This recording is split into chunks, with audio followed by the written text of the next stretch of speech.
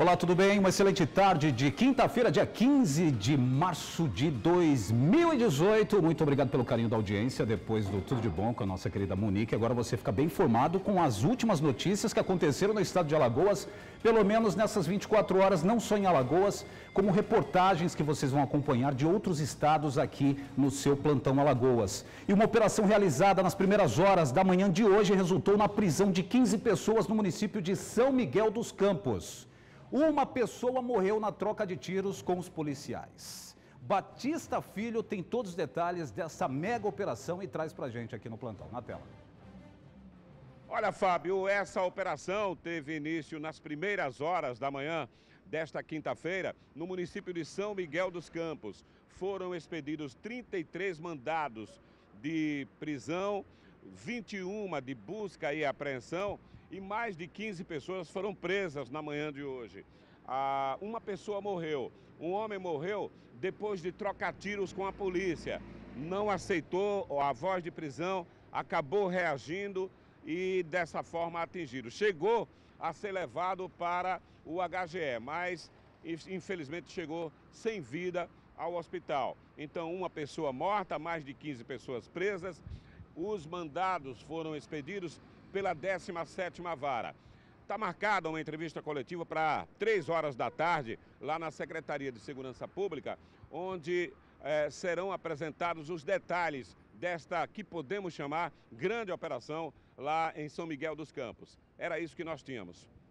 É com você. Ainda maiores informações a respeito desta mega operação ao decorrer do plantão Alagoas, porque recebemos imagens aéreas enviadas pela equipe do Falcão 5 que mostra a movimentação das equipes na cidade de São Miguel dos Campos. Olha essas imagens produzidas pelos integrantes, pela própria Secretaria de Segurança Pública aqui do Estado, sobrevoando a região de São Miguel dos Campos, estão em busca de criminosos para poder manter a paz nessa região. E a sexta regional que está lotada também de bandido naquela área, uma região que a gente conhece muito bem, e são imagens cedidas pela equipe do Falcão 5. Aqui, ó, sobrevoando toda a região de São Miguel. Olha só, um dos pontos onde a polícia teve como alvo, a gente consegue observar lá no final as amarelinhas, né? Pessoal da, da, da tarefa também que estava, a equipe do Pelopes, a gente já consegue identificar aqui, que apertou o cerco com essa moçada. Barra pesada. Um não resolveu entrar na viatura ele quis encontrar os amiguinhos no inferno.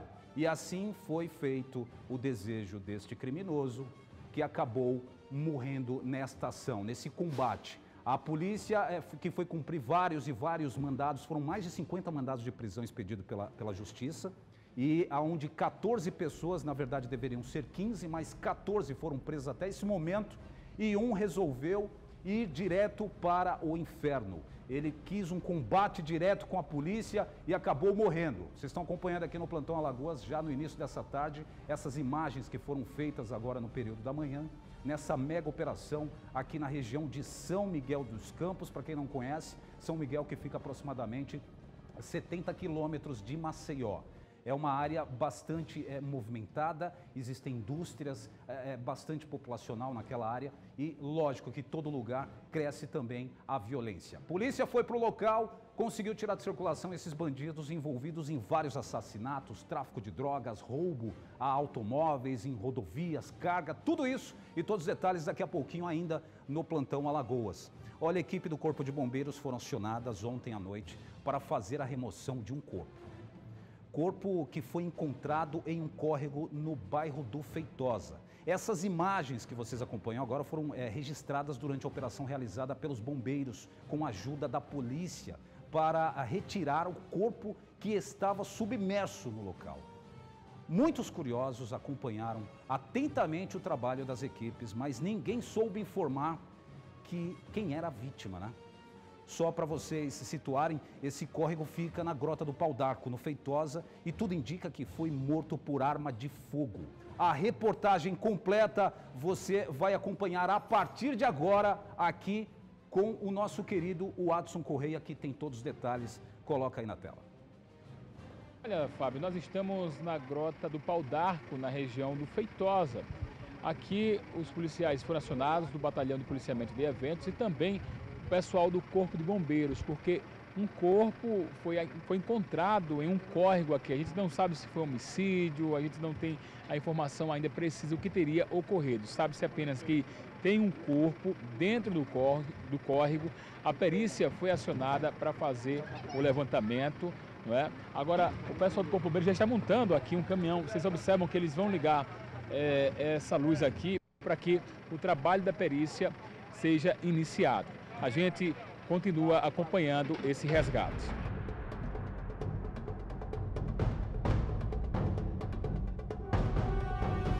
O pessoal do Corpo de Bombeiros montou uma estrutura muito grande aqui para clarear a área, é uma área muito escura.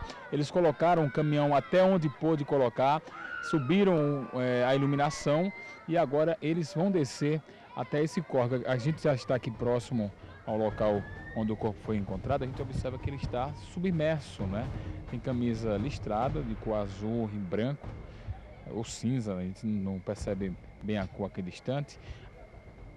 E a gente acompanha as informações da polícia para passar aqui no plantão Alagoas.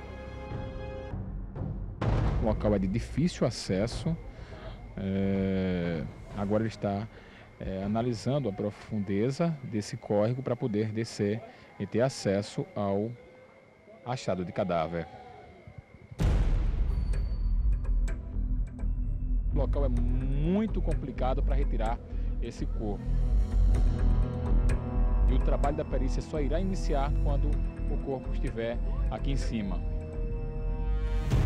Um trabalho imenso, como a gente mostrou aí o resgate desse corpo.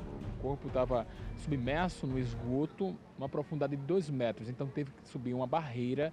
Inclusive a polícia militar participou puxando a corda para ajudar é, o pessoal do Corpo Número. Estou aqui com o Sargento Limeira. Sargento, ninguém no momento ainda reconhece esse rapaz aí, né? A população é, relatou por volta das 17 horas, é, foi informado ao Copom e o, o Copom solicitou a minha guarnição.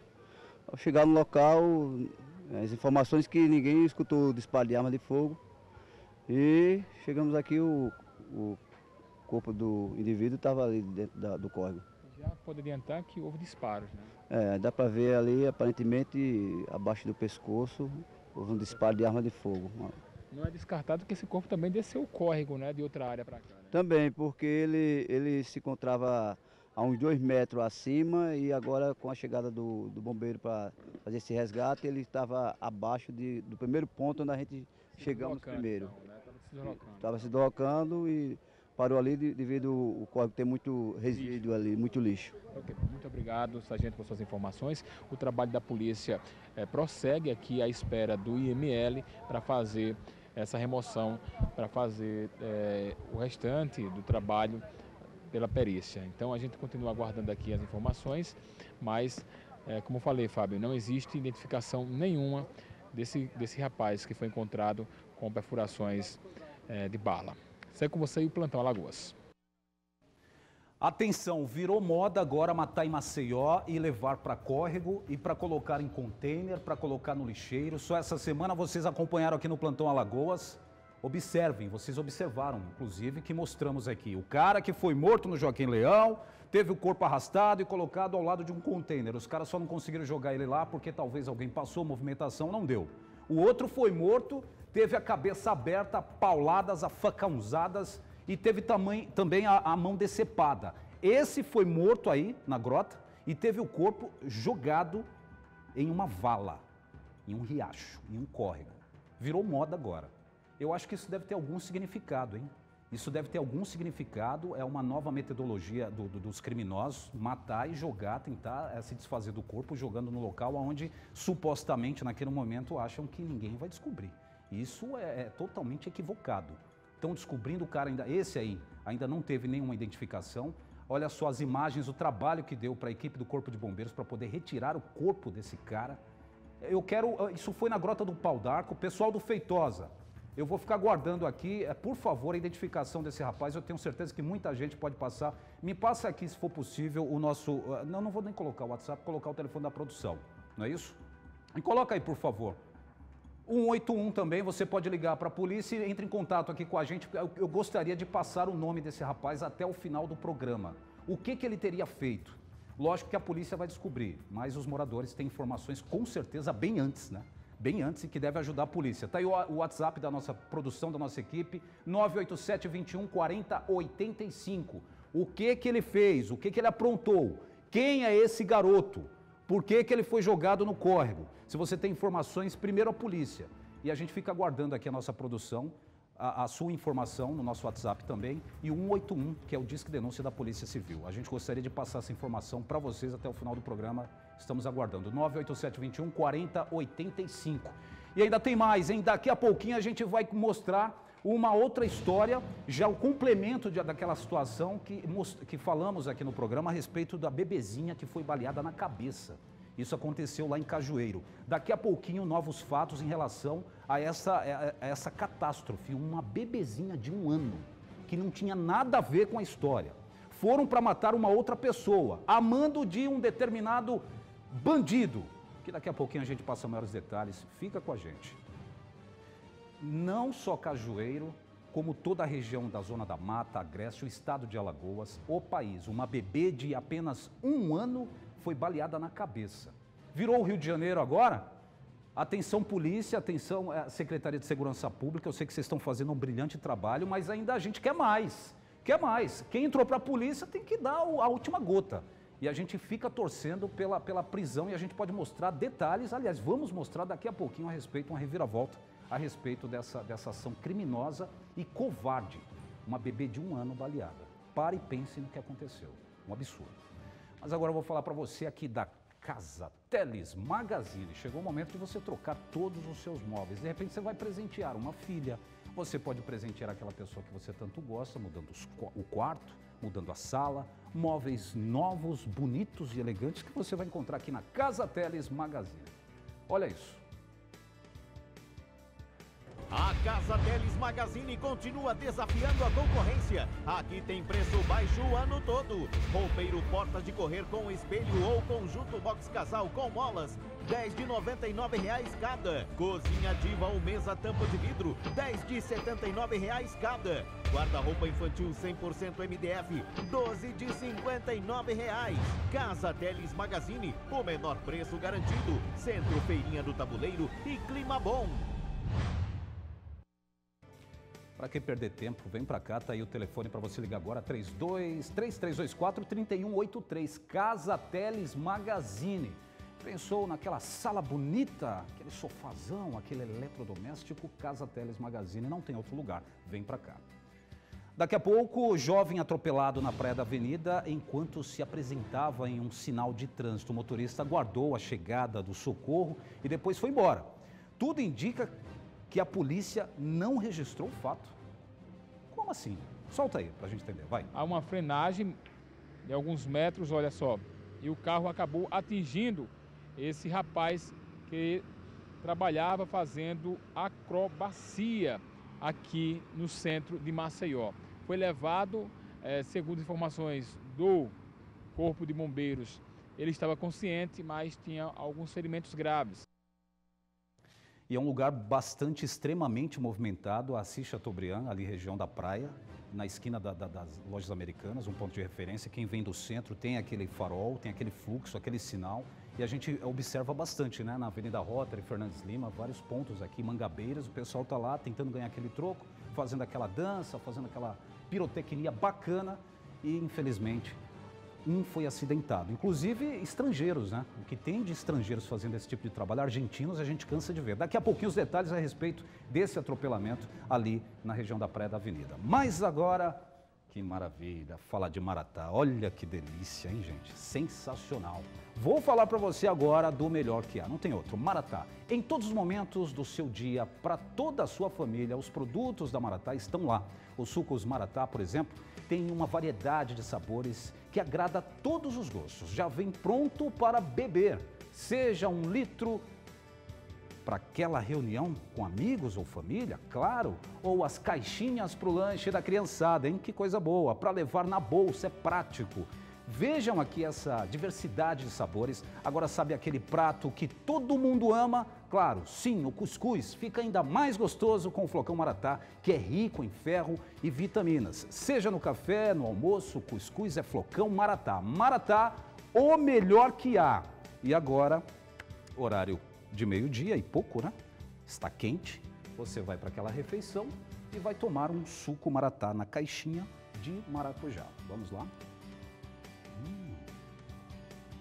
Geladíssimo, uma delícia, sensacional. E o maracujá ele deixa aquele, né? O trava-língua, né? Trava-língua. Sensacional.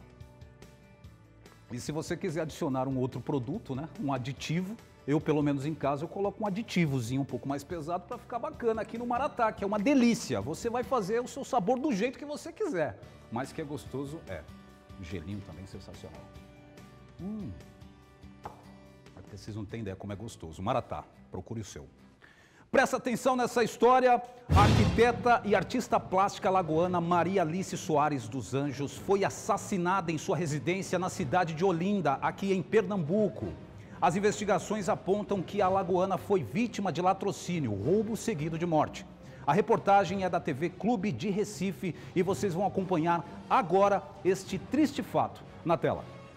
Na manhã dessa quarta-feira, os vizinhos e amigos tentavam encontrar a explicação para o que havia acontecido e entender por que alguém mataria uma pessoa tão querida por todos. Prendeu demais, a baixinha era muito querida. Era muito querida, era gente boa demais, rapaz. Chocou mesmo. Uma grande perca, viu? Eu sinto muito, mas você vê como é que tá a violência aí. Fiquei tão abalado na hora. Uma menina dessa morrer assim, né? E ninguém sabe quem foi. Dona Vera recebeu de um vizinho essa mensagem de WhatsApp. Ele ligou para mim avisando para tomar cuidado que tinha uns homens com escada, é, com escada e apontando, pulando os muros, apontando alguma coisa com lanterna. A Polícia Civil esteve na casa pela manhã e tirou fotos do possível caminho feito pelos bandidos. Peritos do Instituto de Criminalística também estiveram no local uma nova perícia foi realizada. A gente volta com outra equipe para poder tentar ver levantamento de impressão digital, ver mais material para DNA, tentar entender um pouco melhor essa questão da dinâmica e tudo mais, e tentar encontrar mais vestígios que a gente possa contribuir justamente para identificar essa autoria. No IML, amigos e parentes aguardavam a liberação do corpo, todos inconformados com a violência. Uma pessoa maravilhosa, um artista, uma pessoa humana diferenciada, uma qualidade de amizade dezenas, tá? talvez seja a pessoa que mais tenha amigos em Olinda. Precisamos de segurança. Não há, não há condições de continuarmos vivendo sem que a vida humana tenha qualquer valor. Maria Alice dos Anjos, de 74 anos, era arquiteta aposentada e artista plástica. Foi também professora da Universidade Federal de Pernambuco e uma das fundadoras do bloco Eu Acho É Pouco. Uma perda não só para o bloco, mas para o carnaval eu chego a me emocionar porque Alice, a baixinha, foi a figura das figuras mais importantes da criação do bloco.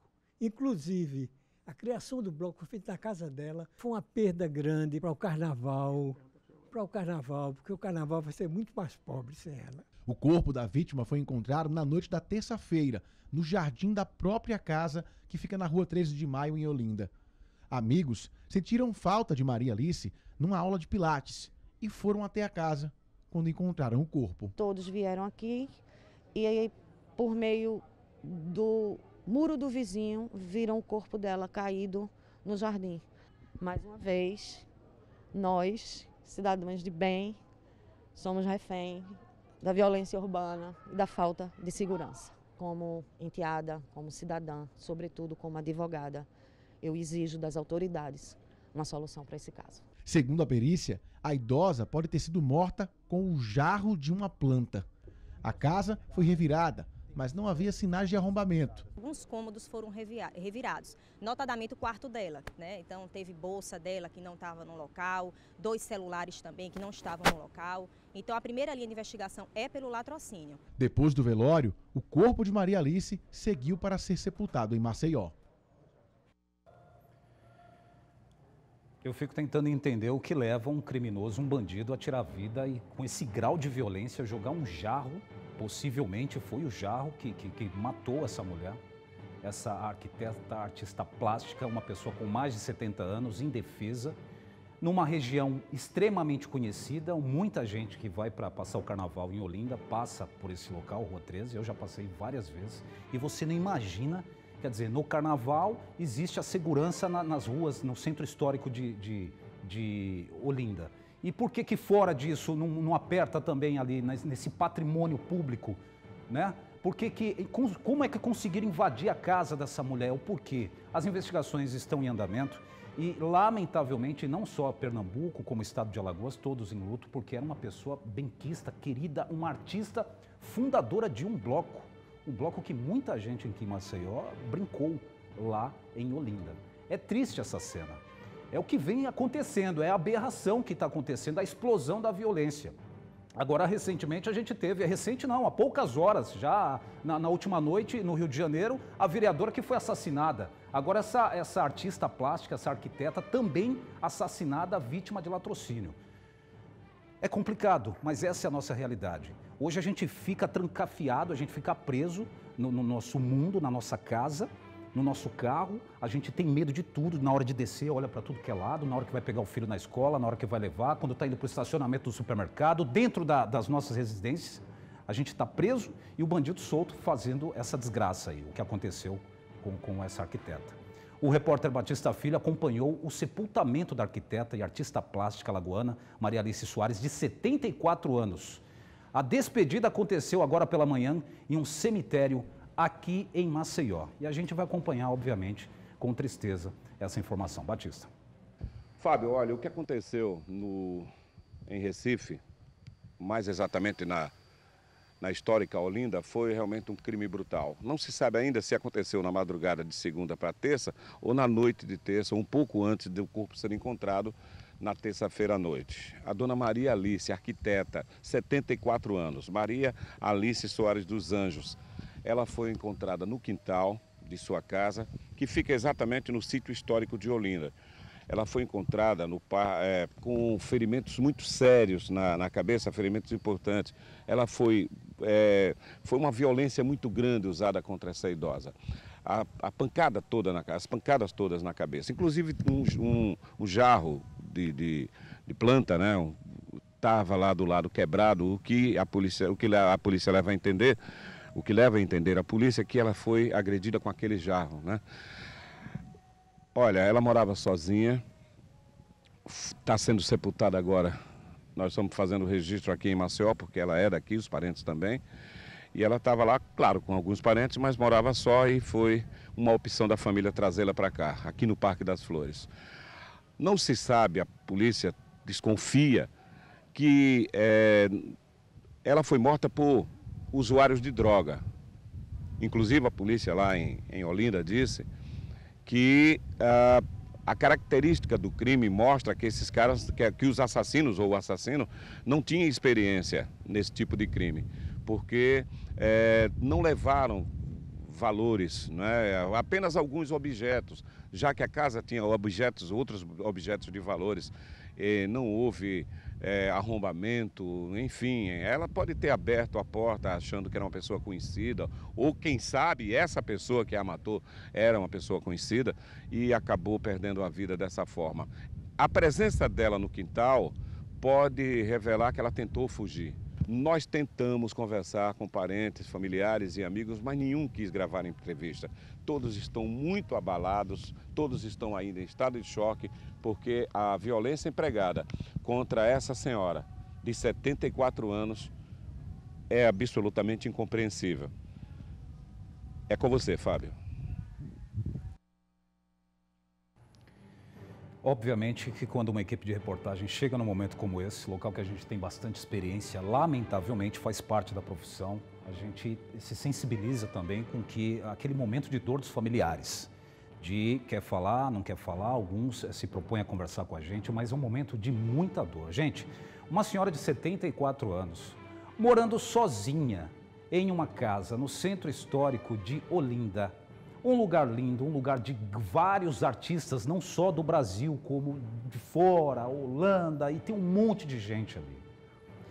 Bandidos invadem uma casa, reviram tudo, até agora não foi passado exatamente o que foi levado, mas a polícia trabalha com a hipótese, pelo menos é a primeira linha de investigação.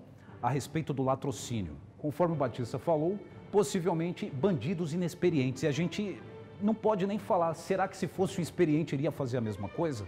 Você sabe é que jogaram, bateram com um vaso na cabeça dessa senhora de 74 anos, uma criatura indefesa, dócil, uma pessoa que todo mundo gostava, e essa tragédia para a família. Eu espero sinceramente que a polícia de Pernambuco, que a Polícia Civil de Pernambuco, entre nesse caso com muita força, exames residográficos, seja lá o que for, contrate o pessoal do CSI, FBI, o que for, para tentar elucidar esse crime. Tem como chegar apesar de casas históricas, casas aparentemente antigas e tal, centro histórico, de, mas ali é tudo monitorado por câmeras. E eu tenho certeza que a polícia de Pernambuco vai chegar até esses bandidos. E eu repito, eu não, não, não acho legal o lance da pena de morte, mas para bandido desse naipe, o que, que você pode esperar? Que ganha a liberdade e vai trabalhar? Que vai fazer coisa boa nesse país? Não vai, não. Tem que ser, enfim, pagar com a mesma moeda muitas vezes. Ou radicaliza agora, ou lá na frente a gente vai ter sérios problemas. A aí, os sentimentos aos familiares dessa arquiteta, lamentavelmente. Olha, ainda hoje no programa, você vai ver com exclusividade um homem que foi morto com seis tiros no bairro do Santos Dumont. Populares informaram que a vítima era um trabalhador e estava retornando para casa. Isso é revoltante. Isso aí é revoltante. Ainda hoje no plantão. Tá pesada a coisa, né? Vamos mudar de clima, falar de coisa boa, falar de oferta e oferta. A Camila bem, entende muito isso bem. Isso mesmo, Fábio. Narciso. Olha só, boa tarde, Alagoas. Olha só, Fábio, coisa toalhas de banho Narciso hoje. Loucura. Quinta imbatível Olha só na Narciso. Essa. Linda, Fábio, por apenas R$ 5,90 hoje. R$ 5,90 só hoje na Narciso. Várias cores. Toalha de banho que era R$ 14,99. Hoje vai pagar tá R$ 5,90. Tá ali, é, a sua tá ali. Muito bem. R$ 5,90, pessoal, na Narciso hoje. Ah. E lençol casal, maior sucesso sucesso, lindos lençóis, casal, gigante, minha amiga, olha só. É lençol, várias estampas lindas. Na Narciso Chovais era R$14,90, hoje paga R$7,90. R$7,90 só na Narciso. R$7,90. Olha só, Fábio, que lindo. Várias belíssimo, cores lindas, R$7,90. Ah. E travesseiro na promoção, olha só. Aqui, ó. Uma delícia fofinho. de travesseiro, macio, macio fofinho, antialérgico era R$14,99, hoje vai pagar R$ 9,90 na Narcisa. R$ 9,90, só isso. Fábio. Show de bola, Posso pagar no cartão?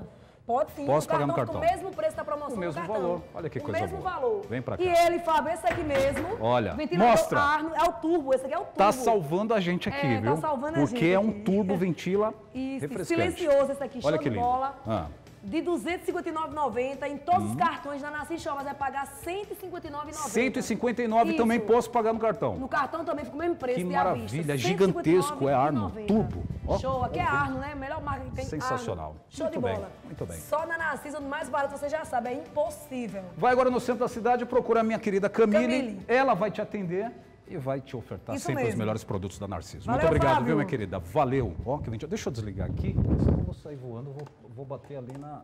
Desligou. Tudo bem. Um acrobata é atropelado durante a apresentação na praia da Avenida. A vítima foi socorrida pelo corpo de bombeiros e a polícia não apareceu no local. Por quê? O Watson Corrêa vai trazer os detalhes para a gente agora. Coloca aí na tela. A vítima foi justamente um acrobata que estava nessa faixa aqui e o carro vinha alta velocidade. Vocês observam aqui, ó, que existe a frenagem. Não sei se o cabeça dá para mostrar ali, ó, a cabeça bem aqui do lado, olha. Há uma frenagem de alguns metros, olha só. E o carro acabou atingindo esse rapaz que trabalhava fazendo acrobacia aqui no centro de Maceió. Foi levado, eh, segundo informações do Corpo de Bombeiros, ele estava consciente, mas tinha alguns ferimentos graves e foi levado para o Hospital Geral do Estado. O rapaz acabou indo embora porque a polícia não chegou a tempo para fazer o levantamento, essas questões. Ele foi embora como se nada tivesse ocorrido. Fábio Araújo. É lamentável, a gente já falou algumas vezes aqui a respeito de alguns acidentes que acontecem. É só pontuando em relação ao que o Watson falou, da polícia não ter é, é, aparecido no local poderiam estar em ocorrências, poderiam. A, a, cidade foi, foi bastante movimentada, tem bandido pra caramba aqui. E se a equipe do Corpo de Bombeiros chegou no local, obviamente que foi papel do, do, do, dos profissionais do Corpo de Bombeiros, a qual a gente estende, manda um grande abraço aí a todos, que resgataram esse rapaz e levaram pra, é, para o hospital. E a gente torce pela recuperação dele e que tanto ele preste mais atenção nesse trabalho de ficar nos sinais fazendo aí as suas pirotecnias, bacana, que muita gente gosta, sem dúvida, é arte, e é isso que a gente quer ver, como os motoristas também respeitar e prestar atenção. O cara ficou lá no local, no momento que chegou a, a equipe do Corpo de Bombeiros, ele foi embora. Em relação à polícia aparecer, talvez não deu tempo, e eu sei que isso é papel, no caso aí do Corpo de Bombeiros ou então do SAMU. Em, em grandes situações, está passando uma viatura, às vezes o pessoal para ali, mas não seria é, é de fato essa questão. Olha, um policial rodoviário federal aposentado, José Arnaldo dos Santos, de 59 anos, foi baleado ontem durante um assalto ocorrido no povoado Santana, na cidade de Arapiraca, agreste aqui de Alagoas. Segundo testemunhas, três homens armados se aproximaram da vítima e anunciaram o assalto. E depois de atirar contra a vítima, o trio fugiu levando a moto do policial e seus pertences. Temos imagens Olha só, imagens do policiamento aéreo realizando buscas na região, tentando capturar esses envolvidos. Falcão 5, mais uma vez, deixa eu aproveitar e mandar um abraço aí para o nosso querido comandante, coronel André Madeiro, não é isso? Que faz um brilhante trabalho, toda a equipe aparelhada e a gente quer mais, sem dúvida nenhuma, que o governo aparelhe mais ainda com aeronaves modernas, equipamento e pessoal para poder fazer esse trabalho de suma importância aqui no estado de Alagoas. São imagens que a nossa equipe de produção recebeu a respeito do patrulhamento. Isso não é só em Arapiraca, a gente mostrou também São Miguel dos Campos, Agreste, Zona da Mata, o estado de Alagoas. Agora eu vou falar uma coisa para você. Eu vou falar uma coisa para você. Bandido não respeita ninguém. Um policial aposentado foi baleado, teve a moto levada por criminosos e a polícia fazendo aí um pente fino na região e a gente torce que eles na fuga é, é, é se acidentem, se lasquem, se quebrem todinho no asfalto, ou então que a polícia capture e mostre para a gente aqui que foram tirados de circulação. É o mínimo que a gente deseja. Porque ou raça desgraçada é bandido. Você não pode ter nada, você não pode ter carro, você não pode ter bicicleta, você não pode ter absolutamente nada. Você não pode ter um celular, que o bandido está de olho no que você rala anos e anos e anos para poder conquistar. Pessoal aí do Falcão 5, muito obrigado mais uma vez e mandando imagens dessas eh, grandes operações que acontecem aqui no interior do estado. Vou falar aqui da Oral Sim. Olha, Oral Sim para você, sim, claro, aqui no plantão. Neste mês de março, a clínica Número 1 de Implantes Dentários comemora um ano. Na Oral Sim, inúmeras vidas foram transformadas através do tratamento com implantes dentários. Pessoas que deixaram de usar dentadura ou ponte móvel e hoje podem mastigar com segurança, comer o que gostam e sorrir à vontade, sem constrangimento nenhum. Neste um ano de unidades, de, neste um ano, a, é, a unidade da Oral Sim são novos sorrisos conquistados para você. Foram construídas com todo carinho para toda a população que precisa, dedicação e você vai prestar bastante atenção porque excepcionalmente neste sábado a Oral Sim estará com um horário estendido de atendimento para você que também tem a oportunidade de realizar o seu tão sonhado implante dentário. Você só precisa ligar no 3022 9966, eu falei 3022 9966 e agendar a sua avaliação. Mas ligue rápido porque os horários disponíveis na agenda serão preenchidos por ordem de ligação. Se você preferir agora, agora mesmo, pega aí o seu telefone e vai no WhatsApp 99812 0016. Neste sábado, dia 17 de março, toda a equipe da Oral Sim espera por você chegou a grande oportunidade de você dar aquele sorriso bacana. Ok? Eu estou ao vivo com o meu querido Batista Filho, circulando pelas ruas por esta cidade. Está aqui na Delegacia de Roubos e Furtos de Veículos e Cargas. Batista, boa tarde. O que, é que você pode trazer? Olá, Fábio. Boa tarde. Boa tarde a você, boa tarde aos amigos do plantão. Nós viemos aqui para obter detalhes a respeito de um caminhão com cargas de, com produtos alimentícios que foi apreendido, foi recuperado, na verdade, na noite da última terça-feira, por policiais civis e militares e também o pessoal do CISP. lá de São José da Laje. CISP, você sabe, é o Centro Integrado de Segurança Pública. Essa carga de chocolates e também de biscoitos era transportada de Pernambuco para a Bahia, avaliada em cerca de 240 mil reais. Ela foi é, recuperada em uma mata fechada é, na, e houve uma troca de tiro terrível entre policiais e também membros dessa quadrilha.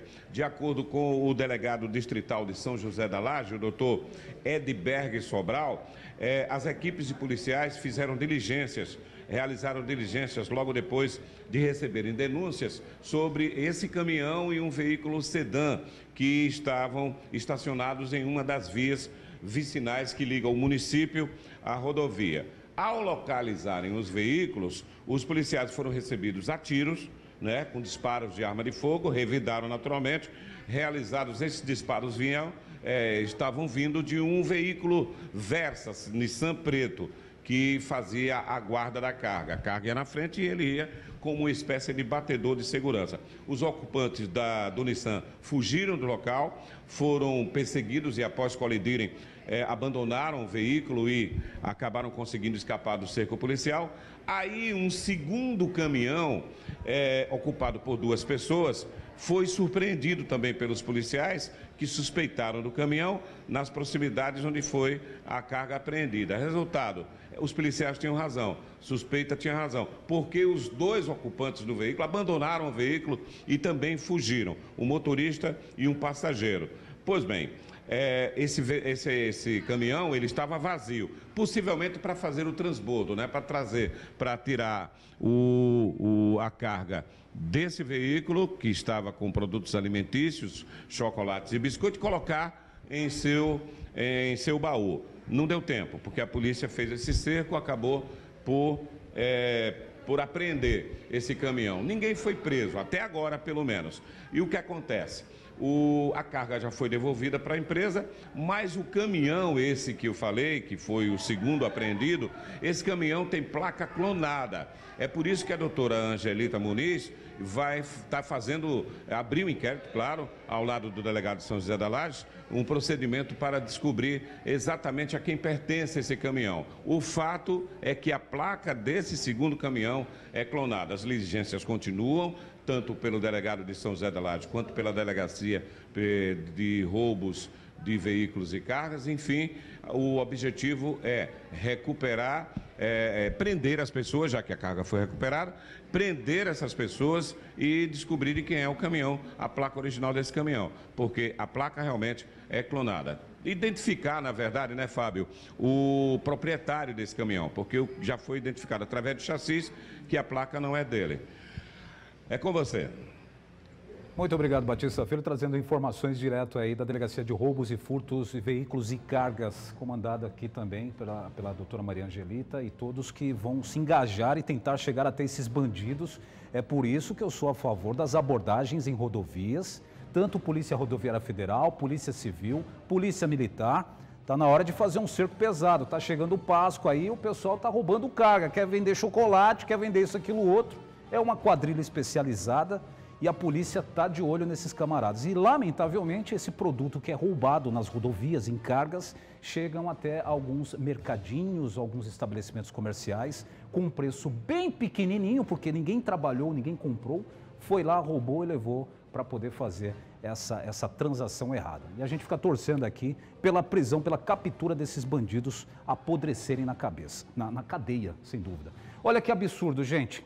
Ontem nós eh, contamos o caso de um bebê baleado em um atentado no município de Cajueiro. E a nossa equipe apurou que o mandante do atentado ordenou que atirasse na criança para matar. Eu não acredito nisso. Eu não tinha essa informação. Que ponto que chegamos? A que ponto chegamos? Tudo isso por causa de uma vingança. O Adson Correia tem mais informações e eu tenho certeza que vocês vão ficar chocados com essa história, assim como eu acabei de ficar aqui, porque eu não sabia que tinha esse nível de perversidade. A ordem foi para matar. Isso é uma vingança. Preste atenção na reportagem contada agora pelo nosso querido Watson Correia. Watson. Olha, Fábio, a gente mostrou ontem aqui no Plantão Lagoas, o repórter Batista Filho esteve ao vivo no Hospital Geral do Estado para contar a história lamentável de uma criança que foi ferida a bala na cidade de Cajueiro. Pois é, viu? A polícia fez cerco na região e acabou prendendo uma pessoa identificada como Galeguinho, não é? É o mandante do atentado que vitimou a criança de um ano de idade na zona da Mata, em Alagoas, na cidade de Cajueiro, como falei. É? Inicialmente, a polícia tinha informado que o alvo era a mãe da criança. Mas depois descobriu que Galeguinho havia ordenado que seu comparsa, identificado por Porquinho, atirasse na criança para matar. Agora preste atenção, só para você entender a história, é o seguinte: o Galeguinho, na verdade, não queria a mãe da criança morta, e sim o tio, identificado por Cicinho, que é o tio da criança, né? Como não encontrou, acabou é, mandando atirar contra a criança, contra o bebê. Os policiais da quarta companhia independente, a companhia independente, fizeram cercos e inclusive trocaram tiros dentro de uma mata lá na região de Cajueiro uma arma foi encontrada e depois de muito tempo o galeguinho acabou sendo preso e confessou o crime. Fábio Araújo. Gente, isso é um absurdo. Eu estou aqui na linha com o nosso querido Major é, Alexandre Braga, da 4 Companhia da Polícia Militar aqui do estado de Alagoas, que vai conversar com a gente agora ao vivo através do, do, do celular. Major, muito boa tarde. Eu acredito que essa tenha sido também uma missão muito difícil para os senhores, até porque envolveu uma, uma, criança, um bebê totalmente inocente, não é, Major? Boa tarde. Colocar, só um minuto, vamos colocar aqui no, no aqui. Major, por favor, Major. Bom, boa tarde, Fábio. Boa tarde, telespectadores da TV Ponta Verde. Sim, realmente foi uma das missões que mais me chocou até por conta da crueldade e da frieza do, do, do, do delinquente. É, onde ele vai na tentativa de matar, ceifar a vida de um desafeto dele, e por não encontrar o desafeto, ele ordena que o outro comparsa efetue um disparo é, contra uma criança de apenas um ano e sete meses. É, não tem como não se sentir assim é, é, é triste com a situação dessa, porque é uma situação que realmente choca todo e qualquer pessoa. Major, existe, pelo que deu para a gente observar, existe o, o, o mandante, né? Tem um, o intelectual e o material nessa história. É, a, a, respeito do, do executor, o, o, que, que ele falou para os senhores sobre essa situação? O, que de fato ele, ele, chegou a conversar com a guarnição dos senhores? É, não, não chegou a ter assim, necessariamente um mandante. Era hum. uma, uma dupla criminosos, né, que foram para executar uma outra pessoa hum. de alcunha de Cicinho, né, e, e a Polícia Civil, é, através do doutor Dal, Centro Integrado de Segurança Pública de Cajueiro, está fazendo um inquérito para saber o que motivou essa tentativa de homicídio, o que é que é, é motivou essa tentativa de, de, de, de matar e tentar contra a vida do Cicinho. A, a Polícia Civil está fazendo o devido inquérito, o devido acompanhamento, a devida investigação sobre isso. Mas é, os dois é, marginais, ao é, é, não encontrar a pessoa do Cicinho na sua residência, é, atentou contra a vida da criança, né, da, desse bebê de um, apenas um ano e sete meses. Então, é, um dos indivíduos, quando não encontrou o Cicinho dentro da sua residência, que foi preso ontem, mandou que o outro comparsa dele executasse o disparo contra a, a cabeça da criança. Graças a Deus, é, é, não obtendo êxito, graças ao trabalho da equipe médica da, da cidade de Capela, hum. bem como da equipe médica do HGE. Os senhores acreditam que possam ter mais pessoas envolvidas, além desses dois, Major? É, a Polícia Civil é, tá, tem a, a, linha de investigação dela, ela vai adotar a linha de investigação dela, não sabemos exatamente, não sabemos o que motivou hum. isso, mas é, é, é não, se, não, não sabe se, se, teve alguma outra motivação criminosa por trás disso, né? Mas eles foram com o intuito apenas de matar essa, essa pessoa de, de alcunha de Cicinho e não encontrando, eles efetuaram o disparo contra essa criança, né? Major Alexandre Braga, muito obrigado pela sua participação. Conte sempre com essa casa, tá bom? Aqui com o Plantão Alagoas e qualquer informação necessária pode passar aqui para a nossa produção, ok, Major? É, estamos à disposição da mesma forma. É, agradeço realmente esse espaço e a Polícia Militar está aqui à disposição de toda a sociedade alagoana e especificamente a quarta companhia de todo o Vale do Paraíba. Obrigado muito, a todos. Muito obrigado, muito obrigado. Aqui o Major Alexandre Braga, da quarta companhia de é, é, na verdade fica em Atalaia, mas cobre toda aquela região, né? A zona da mata, cobre ali Capela, Cajueiro. E a gente espera o quê? Que a justiça possa fazer o quê com esse bandido que atingiu, atirou na cabeça de uma menina que está internada. A gente tem informações que o estado dela não é tão grave assim, mas é grave, lógico. Uma criança de um ano e pouco, né? Ser atingida na cabeça, dois bandidos, vagabundos, criminosos, o lixo que existe na sociedade é a raça de criminoso. E eu vou falar uma coisa para você. Escreva o que eu estou falando aqui. Bandidos no sistema penitenciário, bandidos nas distritais, já presos, tirados de circulação. Muitos também são pais de família. Tem bandidos que têm filhos, estão ali, com, fizeram besteira, fizeram merda e tem que pagar caro com isso. Agora, se é uma coisa que bandido não aceita, não tolera, aí já é uma justiça paralela, é de estuprador e vagabundo que atira em criança. Atingir uma criança para poder atingir, na verdade, uma outra pessoa. Eu não sei o que, que é pior, se o cara se, se era para atingir o alvo, acho que atingir uma criança e é uma morte, né? Você morre aos poucos quando é alguém da sua família por se tratar de um bebê. Então pode ter certeza que o pior, a justiça vai ser feita com esses vagabundos que tem que ficar atrás das grades. Parabéns à polícia, ao Major Alexandre Braga, que agiu rapidamente com a sua equipe e conseguiu prender e entregar para a justiça agora essas desgraças, esse lixo que ninguém quer ver, nem a, a centenas de quilômetros. Parabéns ao trabalho da Polícia Militar.